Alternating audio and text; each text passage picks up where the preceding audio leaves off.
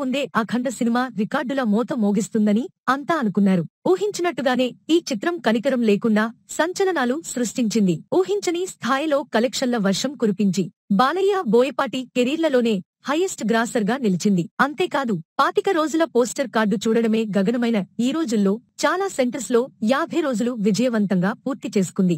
అంతటితో ఈ సినిమా జోరు తగ్గలేదు. ఓటీటీలో వచ్చిన తర్వాత కూడా అఖండ థియేట్రికల్ రన్ కొనసాగించింది. బాలయ్యకు తిరుగులేని ఫాలోయింగ్ ఉన్న ఏరియాల్లో మంచి వసూళ్ళతో దూకుడు ప్రదర్శించింది. లేటెస్ట్గా వంద రోజులు పూర్తి చేసుకుని హిస్టారికల్ రికార్డ్ నమోదు చేసింది. ఈ మధ్య కాలంలో ఈ అత్యంత అరుదైన ఫీట్ని ఏ సినిమా సాధించలేదు.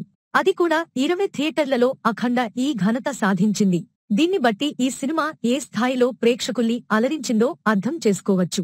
తమ సినిమాను విజయవంతంగా వంద రోజులు ఆడించినందుకు గాను చిత్ర బృందం కృతజ్ఞతగా ఓ భారీ ఈవెంట్ను కర్నూలులో నిర్వహించింది. ఈ ఈవెంట్కి సినిమాలో నటించిన ప్రధాన పాత్రధారులతో పాటు యూనిట్ సభ్యులు విచ్చేశారు. ఈ ఈవెంట్కి భారీ స్థాయిలో అభిమానులు తరలిరావడం మరో విశేషం.